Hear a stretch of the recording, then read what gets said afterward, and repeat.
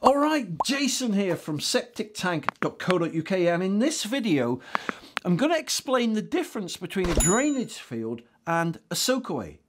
Because many people are confused because these words are used interchangeably on the internet and it's very confusing. So is a septic tank connected to a drainage field or a soakaway? Well, all the rules and regulations changed on the 1st of January 2020 and so the correct terminology now is a septic tank is connected to a drainage field and a soakaway is connected to rainwater, to your gutters, all right, or a rainwater soakaway. That's how it is now.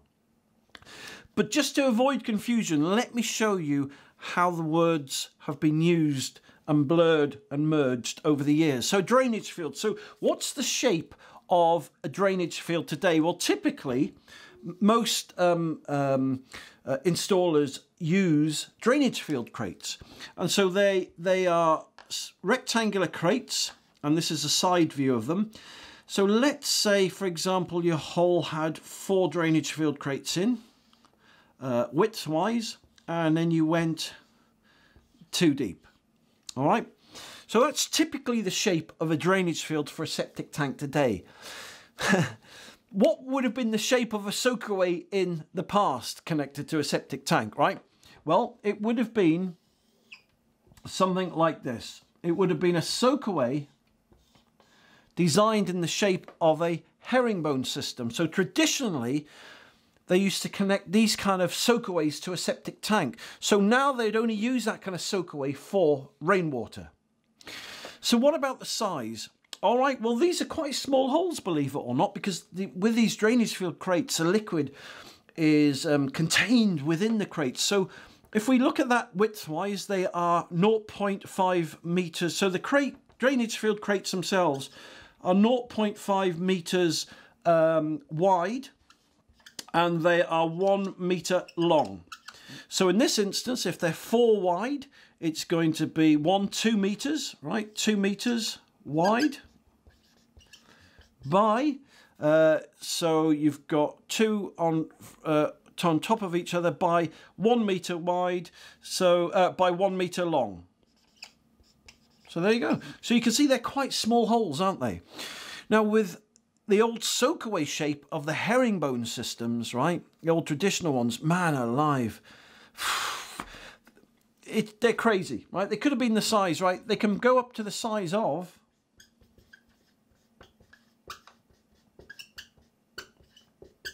a football field because the deeper they go, the bigger and wider and deeper they have to be, right? So, you know, sky's the limit on those kind of things. So I'm not kidding you, right? Most of the um, herringbone systems that are installed for three to four, five to six, seven to eight bedroom house, it just wipe out your garden. All right, so that's the difference in size between the two.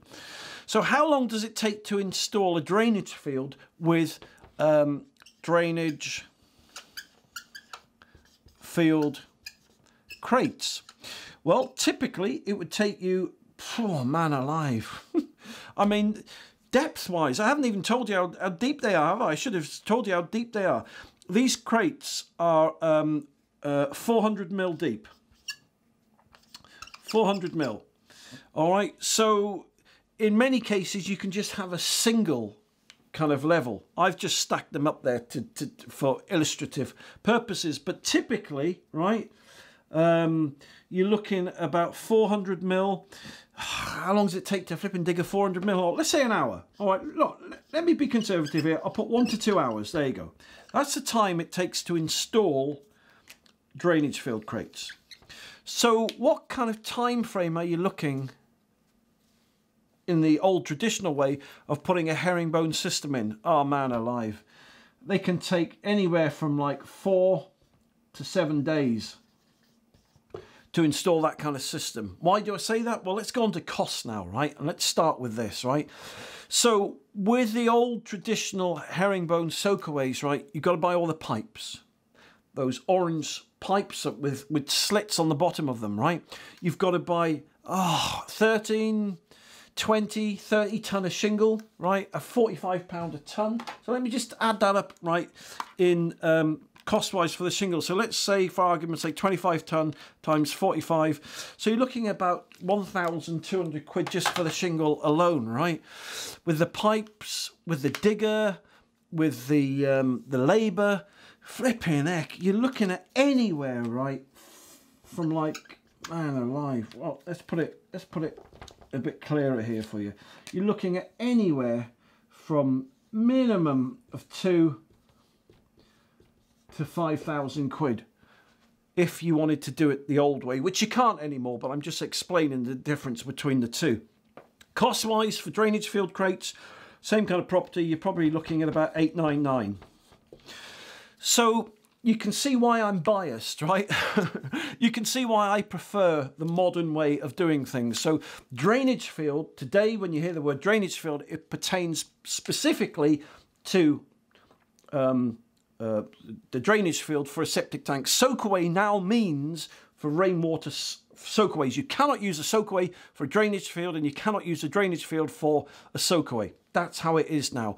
And I'm glad it's worked out that way because the old way of doing things cost a lot of money, it took a lot of time, and it just was massive, right? The new way of doing things, right, means that it's easy to install, it doesn't take long to do it, and it saves you what flipping heck three four five thousand quid in the process so listen i hope that's made that a bit clearer now the difference between a drainage field and a soakaway so listen Thank you for watching this video. If you'd like to see more free videos, then please just go to septictank.co.uk or go onto my YouTube channel, Septic Tank TV. And if you subscribe, right, if you subscribe to my Septic Tank TV channel, you'll be in with a chance to win a free drainage field crate kit. So listen, you stay safe, you take care, and I'll speak to you soon. For more information, just click the link below this video or visit septictank.co.uk for free help and advice.